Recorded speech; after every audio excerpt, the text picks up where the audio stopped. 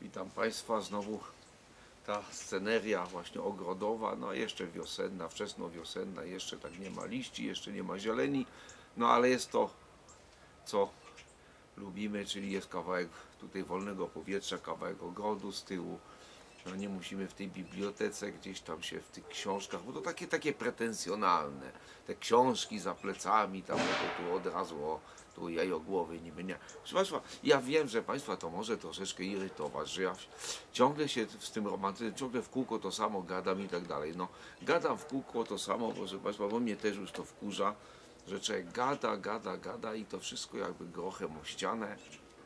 Nie wyciągamy jak żadnych wniosków z historii, żadnej lekcji się nie uczymy z tej historii, powtarzamy w kółko te same błędy, porywamy się gdzieś tam cały czas motyką na słońce, jako naród, jako Polacy, porywamy się motyką na słońce, podskakujemy, no tak jakby, e, czy tam taki mały ratlerek podskakiwał Rottweilerowi, to, to my tak dorośli, tak, to takie proporcje mniej więcej są.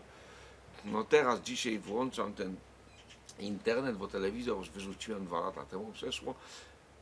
No i patrzę, dopiero co tam wydalili iluś tam e, tych tam e, szpiegów udających dyplomatów, tak to napisali w, e, na Facebooku.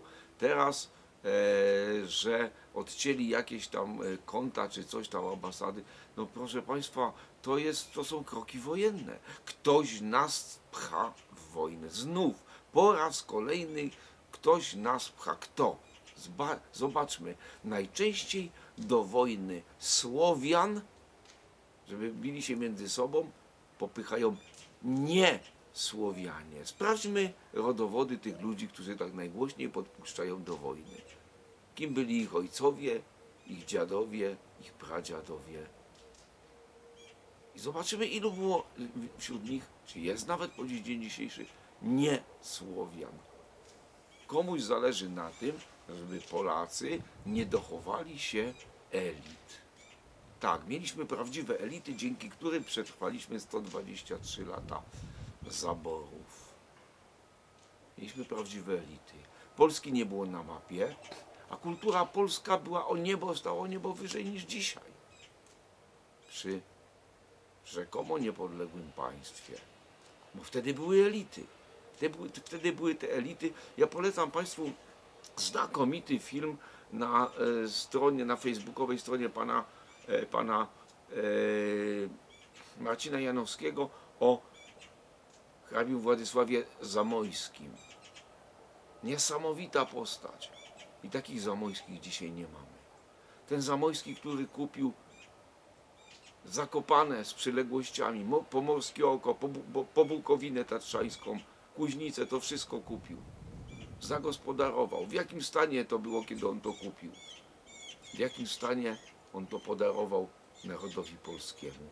Narodowi polskiemu podarował zamek w Kurniku, Poraczyńskich, Podziałyńskich, prawda, te wszystkie rzeczy, biblioteki, to wszystko podarował narodowi polskiemu. Kto dzisiaj coś takiego robi?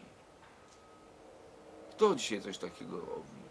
No ta Wielkopolska jest w ogóle niesamowita. Polecam taki mój stary filmik swój do swojego po swoje, gdzie właśnie hrabia Raczyński buduje bibliotekę w Poznaniu, udostępnia publiczności za 130 chyba 2000 talarów, astronomiczna suma. Kupuje książki. Mówi, że w tych wszystkich jego rzeczach, które budował, nie ma nic niepolskiego. Kupuje wszystko od Polaków. Polacy to budują. Gdzie są dzisiaj tacy ludzie? No nie ma ich. Hrabia Raczyński w zbiorach kurnickich i w innych swoich zbiorach gdzieś tam wykopuje masę rękopisów, które leżą od 100-200 lat. Może więcej. Nietknięte ręką badacza. On wynajmuje ludzi, fachowców, którzy to odczytują, bo rękopis nie jest tak wcale łatwo odczytać, proszę Państwa. I wydają. I dzięki właśnie hrabiemu Raczyńskiemu na światło dzienne wychodzą dzieła Jędrzeja Kitowicza, księdza Jędrzeja Kitowicza. Nie mielibyśmy tego. Mickiewicz jeszcze pamiętników Pastka nie znał, bo też jeszcze były w rękopisach i dopiero dzięki hrabiemu Raczyńskiemu zostały odgrzebane i wydane. Takich mieliśmy ludzi. I proszę Państwa, potomkowie tych, tych różnych rodów, potomkowie tych różnych rodów, no to właśnie Adam Zamojski, między innymi, którego dzieło tutaj właśnie Państwu prezentuję. To jest po angielsku wydane, w Anglii wydane The Holy Madness, czyli święte szaleństwo. I podtytuł Romantycy, patrioci i rewolucjoniści w latach 1776-1871. Książka już jest po polsku, ja mam po angielsku jeszcze. Nie kupiłem po polsku, bo no bo po co, ja, ja, ja ją spokojnie czytam. Ale proszę Państwa, zupełnie inny obraz historii Polski, zupełnie inny obraz polskiego romantyzmu. Z tym, że kiedy ja używam określenia polski romantyzm, to mam na myśli nie literaturę piękną, beletra, czyli prawda, prozę czy, czy poezję, ale mam na myśli, proszę Państwa, myśl filozoficzną i polityczną i społeczną akurat. I to ja się koncentruję na tym nurcie, który jest nurtem ze wszech miar korzystnym dla Polski. Bo jest drugi nurt, którego ja nie pochwalam, a który zwykle kojarzy się ludziom, kiedy słyszą słowo romantyzm. Dzisiaj y, czytałem sobie taki artykuł, bardzo dobry zresztą artykuł pana y, Wojciecha Trojanowskiego z opcji na prawo, z wydawnictwa Wektory. Stary, stary artykuł właśnie o romantyzmie i tam właśnie dominuje to rozumienie romantyzmu e, takie, z którym ja się absolutnie nie identyfikuję, którego bardzo nie, lubię tamte, akurat tamtej strony e, romantyzmu, bo się mówi, że myślenie romantyczne to jest takie hej, to Polak na bagnety, hura, nie, nie, nie, nie, nie, nie, nie, to jest jedna ze stron tylko romantyzmu i to ta w dodatku e, powiedzmy sobie bliższa myśli, jak to kolega Marcin Janowski nazywa sekciarza z Zaosia, czyli Mićkiewicza, prawda. Więc właśnie nie znoszę tego nurtu spiskowo-insurekcyjnego, czyli będziemy knuć, żeby kolejne powstanie wywołać, że kolejne powstanie pozbawi nas elit, no bo ci młodzi ludzie, nieraz dwudziestoletni, ledwo tam i tak dalej, łapią za broń, pędzą, giną, a oni byli wykształceni, znali po parę języków i znowu nie ma szansy na rozwinięcie się kolejnej warstwy, kolejnego pokolenia polskiej elity. Bo w kolejnych pokoleniach kandydaci na polskie elity giną. W kolejnych wariackich powstaniach. No, ale już nieraz ze strony różnych nawet znajomych spotykają mnie tutaj zarzuty, a wiesz, jak ty możesz tu powstania polskie potępiać, jak ty możesz, przecież to ty nie jesteś patriotą. A ja mówię, zaraz, chwileczkę. Mamy Pragę czeską, mamy Budapeszt. No i porównajmy to z Warszawą. Co myśmy narobili tymi powstaniami? Do czegośmy do, dopuścili tymi powstaniami?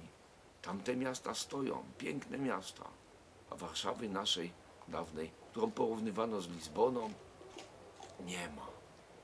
Bo co? Bo hej, kto Polak na bagnety, poszli nasi w bój bez broni. Tak, odnieśliśmy zwycięstwo moralne. Proszę Państwa, jeszcze kilka takich moralnych zwycięstw i nie będzie komu po polsku poprawnie mówić, tylko będzie bełkot jak w internecie, że ludzie nawet nie potrafią pisać po polsku. Nie wiedzą, kiedy pisać razem, kiedy pisać rozdzielnie. To jest plaga w tej chwili. To jest, to jest plaga w tej chwili. Ludzie nie potrafią po polsku pisać. Nie znają słownika ortograficznego, a się za inteligencję uważają. No przed wojną to by ich wyśmiano z takimi roszczeniami. Ty nie umiesz człowieku po polsku pisać, to idź do szkoły wracaj, do podstawówki. Bo podstawówki by przed wojną nie skończył, jakby nie potrafił poprawnie pisać po polsku.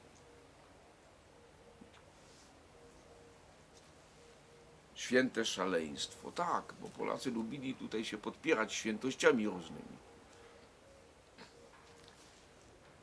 we wstępie do ksiąg narodu i ksiąg pielgrzymstwa polskiego chyba profesor Pigoń pisał, że Polacy na emigracji po kilku latach względnego spokoju, ale i spokoju powiedzmy takiego umartwiającego, czyli no, pojechali ludzie bardzo czynni. Ludzie, ludzie e, wyjechali na tą emigrację po upadku tej rewolucji listopadowej zwaną, zwanej, powstaniem, wyjechali za granicę, no i wszyscy y, byli tacy nabuzowani tą energią, dopiero co tam e, walczyli, no już na przyszłą wiosnę jesteśmy z powrotem w Polsce, kolejne powstanie zrobimy, tym razem wygramy.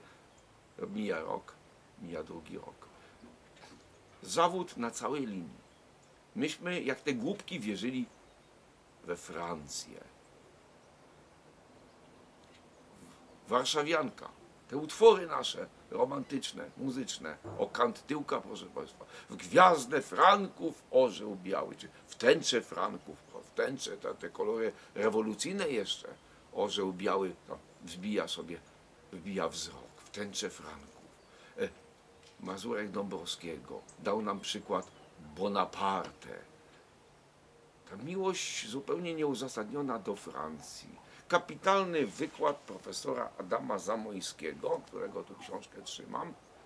E, Polska kraj na księżycu. To chyba taki tytuł, coś takiego, gdzie on pokazuje właśnie te wszystkie mrzonki polskie, ta jakaś, nie wiem, zupełnie niczym nieuzasadniona miłość do Francji i wiara we Francję. Francuzi nas w nosie mają. Lud francuski przyjmował entuzjastycznie e, tych przybywających do Francji polskich uchodźców, ale rząd nie, nie. Kiedy trwało powstanie listopadowe, premier Kazimierz Perrier powiedział złoto i krew Francuzów należą do Francji, no a Polacy jak te głupki wcześniej biegały tą krew za tego Napoleona przelewać, prawda, cesarza Francuzów. Vive l'Empereur. Tak, tak, proszę Państwa. My pierwsi, my pierwsi. Na wszystkie barykady, cały wiek XIX, poczytajmy sobie tę książkę. Mówię, jest po polsku, Święte Szaleństwo. Poczytajmy sobie tę książkę. Cały wiek XIX, wszędzie, gdziekolwiek wybuchała rewolucja, czy to był Wiedeń, czy to był Rzym, czy to e, było Lyon, prawda, czy wszędzie na barykadach Polacy. I Polacy byli znienawidzeni przez policję i przez rządy wszystkich europejskich krajów jako podburzacze, mąciciele, bo ich swędziało, wiesz, bo to było, no, ręka ich swędziała, bo tak, no, tu trzeba byłoby ruszać do boju, jakąś szabelkę w rękę wziąć i tak dalej, a tu nie ma wojny. No to, jak nie ma wojny, to, to co tu zrobić? Zas znalazła się wojna zastępcza w postaci rewolucji robotniczych w całej Europie, które wybuchały jedna po drugiej, jedna po drugiej. Polacy chwycili za sprawę socjalizmu. Z braku prawdziwej wojny Polacy zaangażowali się w knowania różne rewolucyjne, no i stąd później cała masa synów szlacheckich, takich jak Ludwik Waryński, jak Józef Piłsudski, cała masa synów szlacheckich w szeregach socjalizmu, w szeregach rewolucji. Swędzi nas cały czas. Teraz właśnie słyszę zablokować środki ambasadzie rosyjskiej. Znowu ten pinczerek będzie szarpał za nogi tylne Rottweilera, a potem się zdziwi, jak ten Rottweiler kłapnie. No i jeden taki mundruś powiedział, że Polacy powinni tam iść tam na, wejść tam na Ukrainę i tak dalej chociażby na Polskę miały spaść rakiety. No takich ludzi powinno się, proszę Państwa, stawiać pod ścianą na dzień dobry. Którzy swój, swój kraj, może nie swój, chcą wciągnąć do wojny, chociażby na ten kraj miały spaść bomby i rakiety. Znowu moralne zwycięstwo. Jeszcze kilka takich moralnych zwycięstw, nie będzie komu po polsku mówić, jak tu już powiedziałem. Musimy tych ludzi absolutnie wywalić na margines. Nie ma. Ci ludzie powinni odejść na śmietnik historii. Podżegacze wojenni, najczęściej niesłowiańskiego pochodzenia, będą na siebie podpuszczać Słowia. Niech się Słowianie wybiją, a my wejdziemy wtedy w tą pustkę. Chyba tak, chyba o to chodzi. Proszę Państwa, czy my się nie nauczymy nigdy myśleć? Adam Zamojski w swoim wystąpieniu, tam Polska kraj na Księżycu, zwraca uwagę na bardzo ciekawą rzecz. No właśnie ta irracjonalna polska miłość do Francji, no do Anglii też nie wiadomo z jakiego powodu. W 1939, prawda? Ten entuzjazm wariacki, Anglia, Francja i tak dalej. Proszę Państwa, tymczasem Polacy tak. Mamy we, w Warszawie rondo de Gaulle'a. Mamy tam różne place de Gaulle'a, ulice de Gaulle. A co de Gaulle zrobił dla Polski? Co takiego zrobił de Gaulle dla Polski? Ano jako pierwszy przysłał delegację do tak zwanego rządu lubelskiego i uznał komunistyczną władzę polską.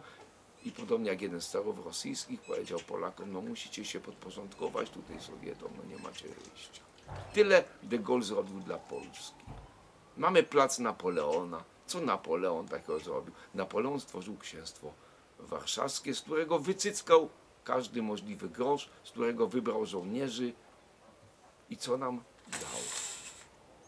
Proszę Państwa, co nam dał? Tymczasem car Aleksander I otworzył Uniwersytet w Warszawie. Uniwersytet Warszawski to jest fundacja cara Aleksandra I. I e, któryś z profesorów zapytał, bym powiedział, że, że studentów pytał przez ileś tam lat, których królów polskich zabrakło w zbiorze Matejki. Poczet królów polskich. No kogo tam nie ma? No nie ma Aleksandra I i Mikołaja I. No przecież to oni byli koronowanymi królami Polski no do tego stopnia, że przecież Sejm powstańczy w powstaniu listopadowym musiał zdetronizować Mikołaja I, no bo był królem. Nie ma ich. Nie ma. Polsk, polska młodzież nie wie, że ci ludzie byli królami Polski. Aleksander I powołał do życia Królestwo Polskie, nie Księstwo Warszawskie, ale Królestwo Polskie. Kościół na placu Trzech Krzyży Świętego Aleksandra. Warszawa budowała bramy triumfalne, a słynna pieśń, którą Polacy po kościołach śpiewają, Boże coś Polskie, powstała właśnie na okazję koronacji cara na króla Polski. Naszego króla pobłogosław Panie, zachowaj nam, nas, nam Panie w, różnej, w różnych wersjach śpiewano, zanim przerobiono to na ojczyznę wolną. O tym Polacy pewnie nie wiedzą. No ale jak to, no tak to, to cokolwiek zawdzięczać tutaj e, carowi, no to takie dzisiaj niepoprawne politycznie, proszę Państwa, dla bałwanów, dla nieupów, którzy nie wiedzą i nie chcą wiedzieć, i nie chcą wiedzieć. Wszystko co rosyjskie to B, to B. I to mówię, ja, który, proszę Państwa, zdecydowanie potępiam wojnę, jako sposób na rozwiązywanie problemów. I teraz łapę się za głowę, bo przecież ja mam, znam setki ludzi na Ukrainie. Ja tam znam setki ludzi. Ja tam znam prawie każdy kamień. Ja się za głowę łapę. Ja sobie włosy z głowy wyrywam.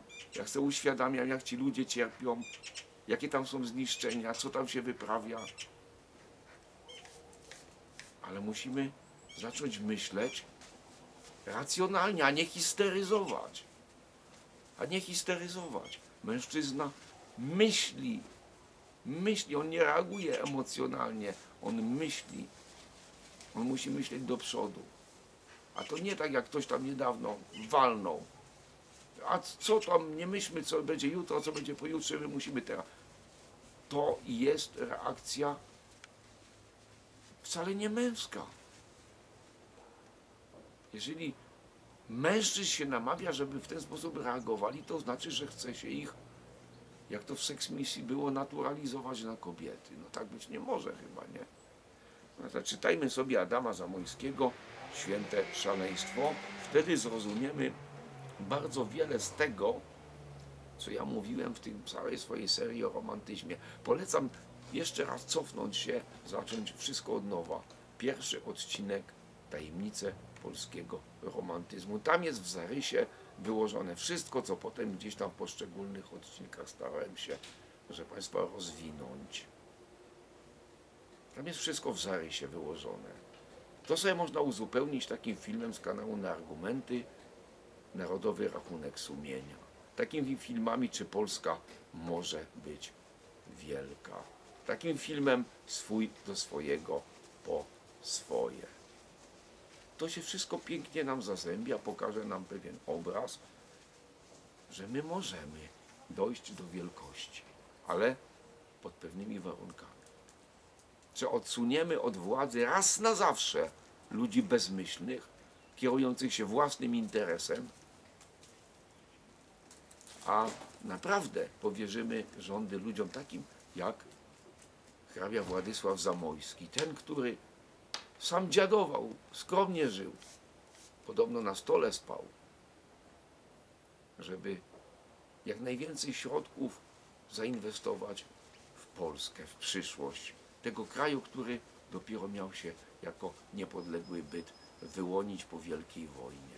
Takich ludzi nam potrzeba u steru, a nie karierowiczów, którzy chcą się dorobić na diecie poselskiej, a nie rozwrzeszczanych osobników, którzy mają parcie na kamerę, na szkło i będą gadali wszystko, co się ludowi podoba. Tak, wszystko będą obiecywać po to, żeby zrobić ten lud w konia.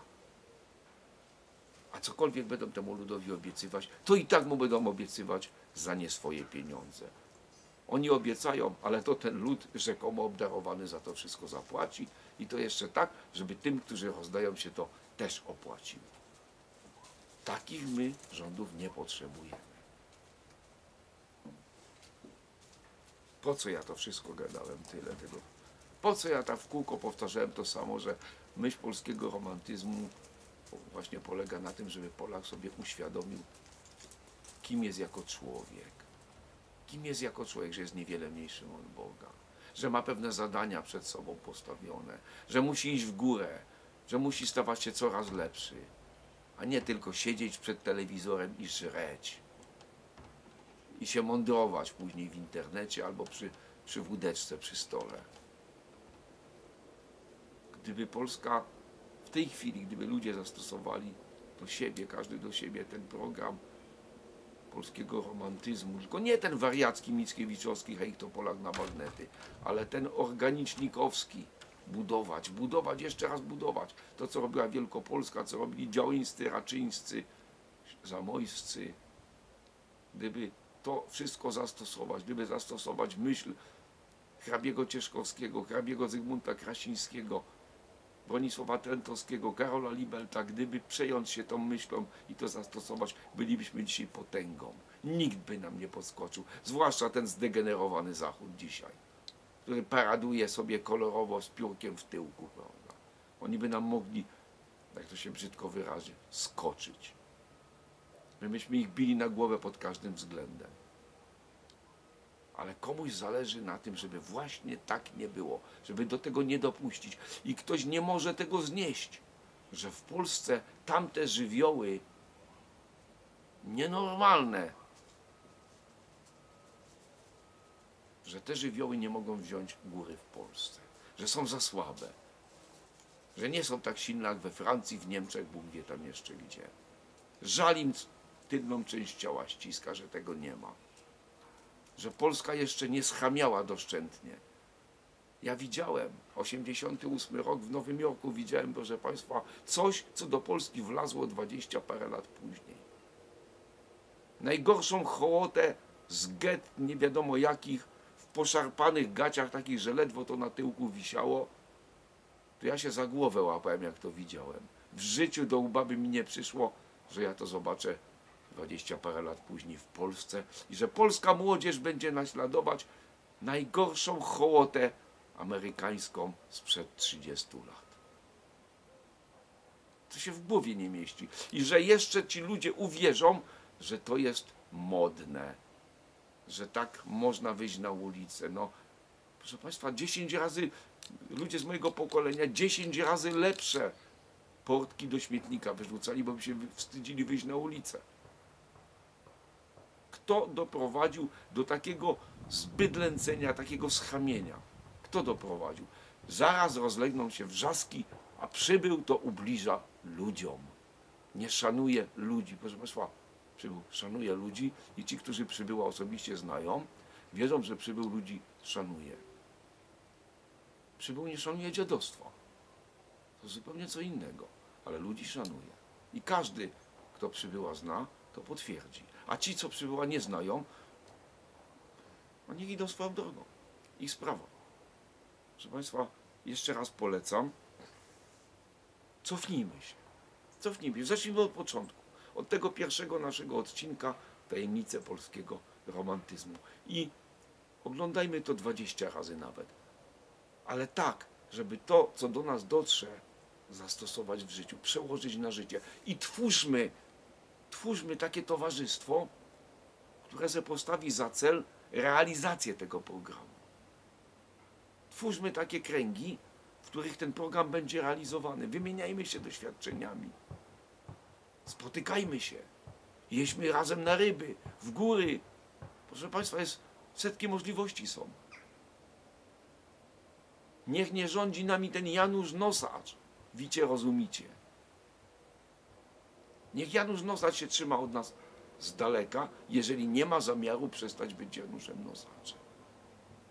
Bo ci, którzy chcą przestać być nosaczami, a którzy zechcą być Polakami, zechcą być narodem, a tych chętnie witamy, tym chętnie pomożemy. Ale jeżeli ktoś nie chce zrezygnować z bycia nosaczem, a chce przeszkadzać i chce innych w no- nosaczy zamieniać, a temu pokażemy tak. Niedoczekanie wasze. Tam, w swoim kręgu, wśród równym sobie, tam sobie bądźcie nosaczami, ale od nas wara. Bo my żyjemy w innym świecie, bo my żyjemy w Polsce. Tego się trzymajmy, proszę Państwa. Idzie wiosna, przyjdzie lato. Naprawdę mamy wiele możliwości, żeby się gdzieś osobiście spotkać. Zobaczymy wtedy, kto kim jest. Nie martwmy się, że ponieważ głosimy takie, a nie inne poglądy, że tu tracimy znajomych, tam tracimy znajomych. Ja straciłem sporo pseudoznajomych. I teraz te wydarzenia, ten cały pandemia, teraz ta wojna, prawda, na wschodzie, to są pewne takie rzeczy, które są no, straszne, straszne są. Ale też i pomagają oczyścić teren. Masa ludzi odpadła gdzieś z moich jakichś tam kręgów, no bliż, no nie bliższych raczej nie, bo, bo moich najbliższych kręgach, czy to rodzinnych, czy towarzyskich, e, zwolenników pandemii, ani, ani żadnych ludzi, którzy ulegają propagandzie takiej czy innej, nie ma, nie było i nie będzie. Ale masa innych takich pseudoznajomych poodpadała, bo się z nimi nie zgadzam, bo nie dmę w tą samą trąbę, bo nie, nie noszę tych samych znaczków w klapie, bo, bo, bo, bo mam w nosie to, co mówi telewizja, co mówi radio. Ja się temu nie poddaję. Wyrzuciłem smartfona, wyrzuciłem telewizor. Już wielu mnie uznało za wroga, a Bóg z nimi, a Bóg z nimi. Proszę Państwa, swój do swojego po swoje. Pamiętajmy to hasło. Swój do swojego po swoje. Oni przyjdą do nas, wyciągną rękę po nasze, jak przyjdzie taki czas. Już krzyczą, żeby pozabierać tym, co tam mają kilka mieszkań, żeby pozabierać i co? I ludziom dać. Ktoś, kto wyciąga łapę po nie swoje, jest złodziejem. Jeżeli, popuśćmy jakiś tam wyjdzie dekret państwowy, taki czy owaki, żeby to upaństwowić, czy tam to czyli ukraść, ja w tym udziału nie wezmę i, i Państwu nie radzę. Nie przyłączajmy się do złodzieja. Najczęściej to ludzie by chcieli, co tacy, tacy nieuczciwi, bo to trzeba być nieuczciwym wewnętrznie, żeby podjudzać do zabierania innym, żeby cieszyć się z tego, że komuś tam kto, państwo zabierze. No bo sam to jest tchórzem, to łapy nie wyciągnie, bo się boi, że może dostać w nos. Ale jak państwo ze swoim aparatem przemocy wyciągnie łapę po nie swoje i temu nosaczowi da, a to państwo je dobre wtedy. Przepraszam, jechałem kiedyś pociągiem. Jechałem kiedyś pociągiem z Grudziądza do Torunia, osobówką. Och Boże, to był początek lat 90. I tam jedna kobieta, taka do czarownicy, trochę podobna, gardłowała na cały wagon. A co one od tych komunistów są? A co te komunisty? To one dobre są. 40 tutaj, 5 to przyszli te Ruscy, przyszli do nas do chałupy, chazajka, dawajcie mołoka, no mleka dajcie. A matka mówi, nie ma, nie ma krowy. No jak to, krowy nie macie? Poszli tam do sąsiada, do kułaka, on miał cztery, zabrali mu przyprowadzić, e, to wasze jest, no co one, złe? Złe? No bo ukradły, ukradli sąsiadowi, a im dali. A łoszadź u was jest i koń? No nie. No to poszli do kułaka, zabrali. Chwalić złodzieja. Hurra! Złodziej jest cacy, bo daje. I Janusz Nosacz to jest taka kreatura, która czeka, aż ktoś coś mu da. On z siebie nic nie da, bo nie potrafi najczęściej, ale chce, żeby wszyscy mu dawali, żeby on mógł se, uwaga, godnie żyć. Nie bądźmy w jednej lidze z tymi ludźmi, trzymajmy się od tego jak najdalej, budujmy sobie Polskę na miarę naszych marzeń, naszych ambicji, na miarę marzeń i ambicji naszych przodków, tych szlachetnych przodków, tych prawych przodków. Nie idźmy w jednym szeregu z jakimś tłumem, który mi się tak kojarzy z takimi obrazkami z tej rewolucji antyfrancuskiej. Rozwydrzony tłum, jakaś baba z głową markiza nabitą na pikę, albo co mi moja babcia opowiedziała, 45 rok, tak zwane wyzwolenie Łodzi, jakieś przedwojenne obrzępały złodzieje, wymachując czerwonym, czerwoną szmatą na Żgowskiej w Łodzi krzyczały wolność towarzysze, wolność. Trzymajmy się jak najdalej od czegoś takiego, bo z tego Polski nie będzie.